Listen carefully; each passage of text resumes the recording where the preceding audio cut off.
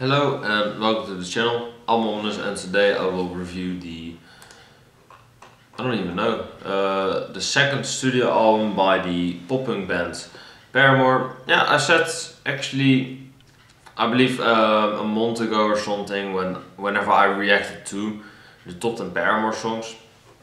Uh, I said to my fans I don't mind if Paramore Paramore.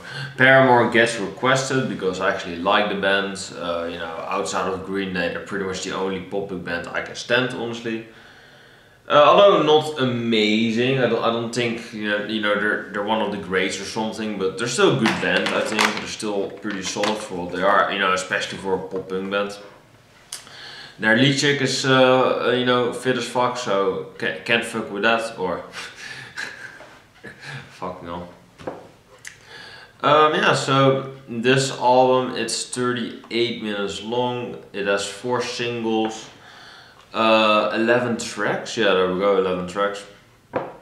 Uh, the first track is For a Pessimist, I'm Pretty Optimistic. Pretty funny opening song, uh, pretty funny title too. It just kind of, you know, opens up the album by the band saying that, you know, we're serious, but we're not, you know, over seriously. We're we can still joke around. This is a good opening track, I think. You know, pretty solid, pretty Paramore-ish. You know, if you know what Paramore sounds like, then well, you know, this song is for you. Or you know, th this song, you can pretty much uh, you know figure out the song on your own. And then we get that's what you get. Very catchy track, especially how Hayley Williams says the the the, the, the title. You know, just perfectly implemented into the uh, album. I really love, you know, uh, the melodies and just how, how this style gets implemented into the chorus or, you know, the, the song itself is just very catchy, very uplifting too. Uh, song works for me, you know, it's, it's I believe it was one of the singles, so, uh, you know, this song just work, works for me, so, you know, not anything to complain about there. And then we get Hallelujah, which is more of a old school kind of stripped down kind of vibe song. Uh, yeah, pretty good. Um, yeah, it's it's pretty you know pretty uh, meat and potatoes kind of song. Uh, it, it's still pop punky, but it's more in into a more alternative rock style, which I uh, also enjoy by the band. You know, um, that, that's probably why I don't fully hate Paramore because uh, or hate at all because they're also alternative. They, they also, you know, implement some poppy side and some alternative sides, you know, which I enjoy. That's probably why I don't hate Paramore, you know, unlike some other popping bands which are just fucking garbage. So good track, uh, yeah, then, then we get of course to pretty much the most famous Paramore song ever, I'm pretty sure. It's so famous, Paramore doesn't even want to play it. Um, I've heard. I don't, I don't know. Uh, misery, misery business. Uh, yeah, of course. This is pretty much the only song that I can, you know, sing. Uh, whoa, da, da, da, uh, what I got, I fucking on. Well, uh, what I got it. Yeah, I got it now. I, I cannot sing for shit. Well, yeah, I do. The only song I remember or can hum along to. You, uh, you know because I didn't forget the whole album, but it's just the only song that I can hum at the moment. Just a very uh, memorable track, three and a half minutes long, just a very catchy hook. The riffs are great, you know. Just a very, uh, you know, unforgettable riff on there. Just very captivating. A great title to Misery Business. It just sounds funny. Uh, you know, it sounds like, you know, you're whining so much you can almost make a business out of it. You know, kind of uh, speaking out about you know them bitches, if you know what I mean. Or you know, you, you know, not bitches per se, but uh, just people in general. You know, uh, boys can be like that too. So there we go. Then we get When It Rains. This is a very mellow track. I really enjoy the the songwriting by Hayley Williams and Josh Farro. And Zac Farro, which is I believe the brother of Josh Farro. I don't know. Uh, yeah, this is just a very mellow track. I really enjoy the diversity of this album. It's just very diverse so far. Uh, just very melodic. Although Paramore would perfect this kind of style on their uh, on their next album. You know, if you've seen my top ten reaction, then you know which song I'm talking about. But this is still a very like you know OG kind of uh, kind of merit to it. It's still very you know good uh, you know uh, uh, prequel, I, I, suppose. You know, I was looking for a word, so we go. Uh, then we get Let the Flames Begin.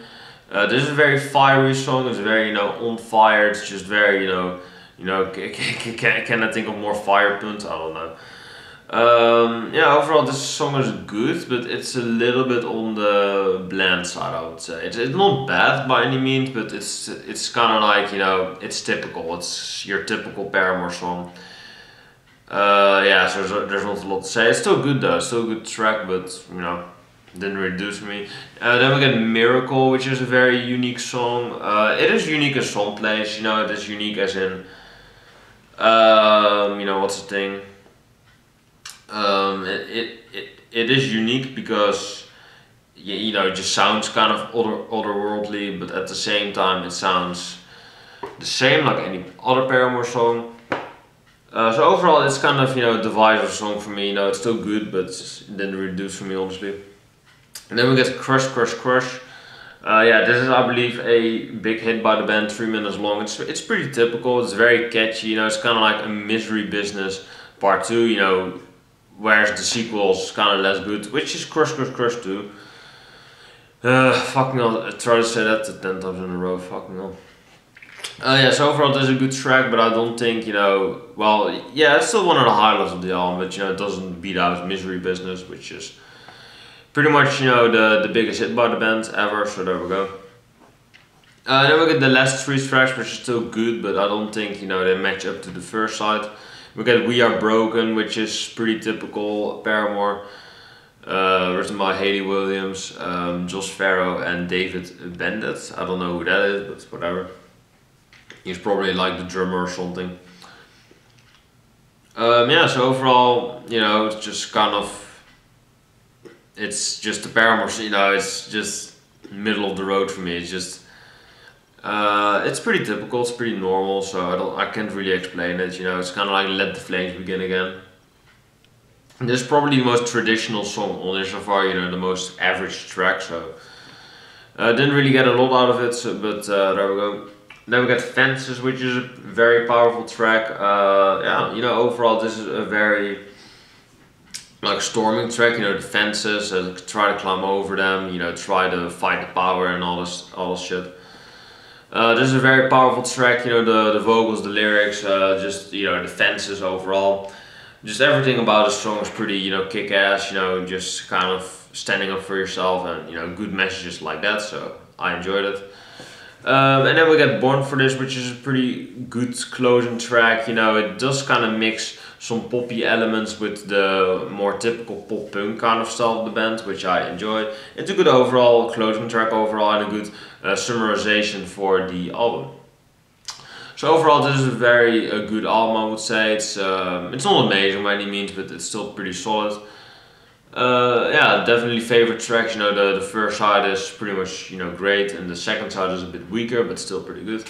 So I enjoyed this album, although it did sound a little bit too samey for me, but it's still, you know, you know, still has a good songs, it still was pretty consistent, so I'm gonna give this album an 8 out of 10.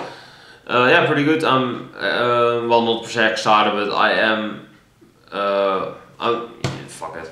I'm just gonna listen to Brand New Eyes now. I'm, I'm a little excited, I would say. I'm a little excited to check out Brand New Eyes to check if it, if, if it is better than Riot, I don't know. So I'm gonna check that out. Uh, thank you for watching this video. Let me know what you think about this album in the comments down below. Like or subscribe to the channel if you did like this one.